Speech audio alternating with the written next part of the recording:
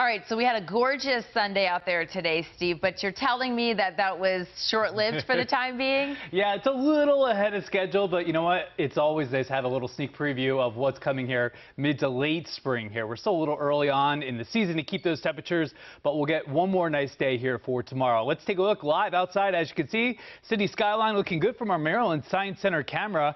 We made it up to actually 82 degrees. So right after that uh, report was sent, we made it up to 82, and we'll be be in that same ballpark here for tomorrow. So here's what we're watching in the weather department. It's a sunny, warm, and really enjoyable Monday. And I say enjoy Monday and Tuesday because both of these are really nice days.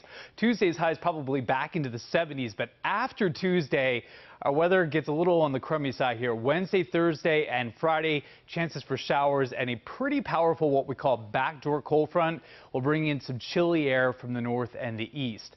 One thing the showers will help do is flush out the air. This is just out of control right now. The pollen situation, very high tree pollen coating everything and also your allergies, moderate levels of grass and low levels of mold here. Like I said, the rain will help with that situation even though we really don't need the rain at this moment. 74 degrees degrees in town. It's a warm night. We won't fall that much thanks to this cold front. You can see the wind arrow is still out of the south. This line of heavy showers and thunderstorms is weakening and continuing to weaken, so really not an issue for us here for the night tonight or into the day tomorrow. We start off at a nice, comfortable 60 degrees, 7 in the morning, and we're climbing from there. 78 at noon, 82 at 3 o'clock in the afternoon. We're not going to see a huge spread in temperatures like we did today. That's because the wind is more westerly tomorrow, so all of our neighborhoods neighborhoods share in the warm weather. Upper 70s eastern shore to low 80s inland areas.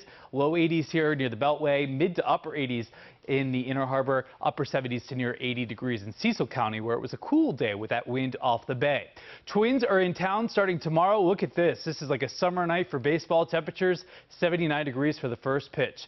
All right, on to the wet weather we go. Wednesday, Thursday, Friday, and even into next Saturday, we have the chance of some showers. So here's your seven-day forecast. We'll break it down day by day for you. Monday, 82 degrees, a really good-looking day. Tuesday, while it's cooler, it's not a bad day. Here's your temperature planner for Tuesday, 55 at 7 in the morning, 75 your top number of the day. 67 showers arrive here on Wednesday. You can see that fast progression of the showers as they move across the state here, and then more opportunities for rain come in that seven-day forecast on Thursday. It's not going to be a washout of a weekend, but Saturday into early Sunday, our next chance of rain. Kelsey. All right, Steve, thank you. We'll check in tomorrow morning on WJZ starting at 4.30 for updated news, weather, and traffic. And